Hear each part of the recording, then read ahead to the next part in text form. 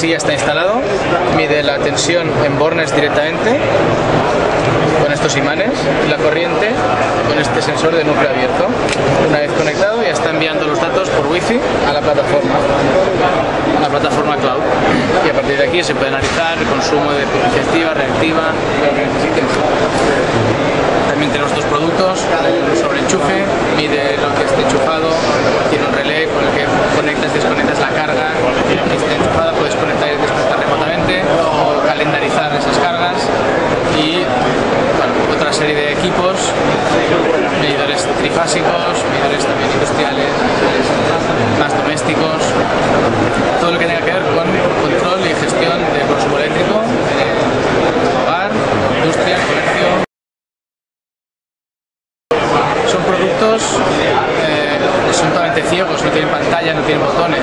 Por lo tanto, todos los datos que recoge este sensor solo se pueden conocer o conectar eh, a través de Internet. Estos productos, est- estos equipos, es decir, no tienes que ir a consultarlos tú manualmente, físicamente, sino que están en donde sea, en el cuadro eléctrico de una empresa, de una industria, y todos los datos están eh, almacenados en un cloud, de forma que se pueden consultar desde cualquier sitio. Por lo tanto, el Internet de las cosas, la conectividad lo que hace es que desde cualquier sitio puedas conocer en tiempo real el estado de funcionamiento eléctrico de todas tus instalaciones.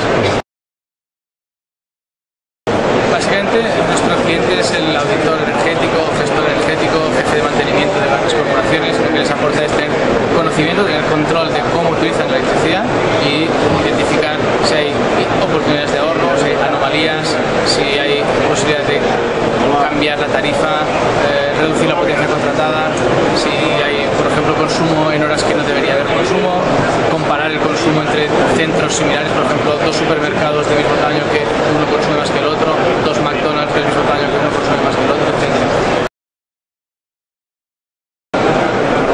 Va un poco lenta, aunque realmente se nota una evolución y que cada vez más. Es algo que, que cuesta, cuesta de que arranque.